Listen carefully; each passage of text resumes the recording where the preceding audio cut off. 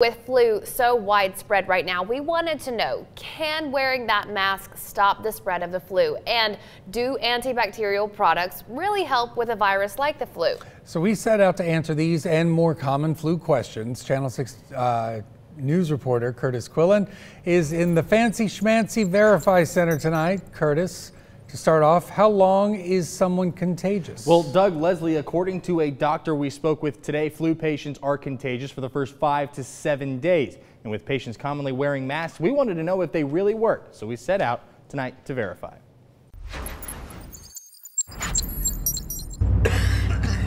While the flu in central Texas isn't getting worse, it's also not getting any better.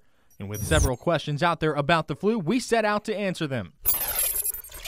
First, does the flu shot make symptoms less severe? We spoke to Dr. Joshua Parker at Express ER in Waco to find out. It usually takes about five to seven days to build up the immunity that the vaccine um, is creating. So if you get the flu during that time period, your symptoms will, will, can be lessened than had you not gotten the vaccine at all. But after that time frame, Parker says you shouldn't get infected. If that happens, he says you probably got a strain of the flu not covered by the vaccine.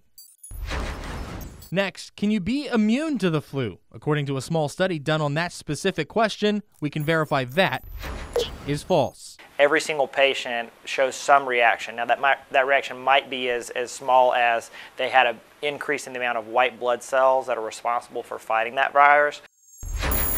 What if you already have it? The quote, mom's cure has always been chicken noodle soup, but does it work to lessen symptoms? The reason it's so good is because it's, it's salt and water, which are very hydrating. Usually, when someone is sick, they don't eat or drink as much. And while chicken noodle soup can help rehydrate and, quote, take the edge off of symptoms, they don't alleviate any symptoms.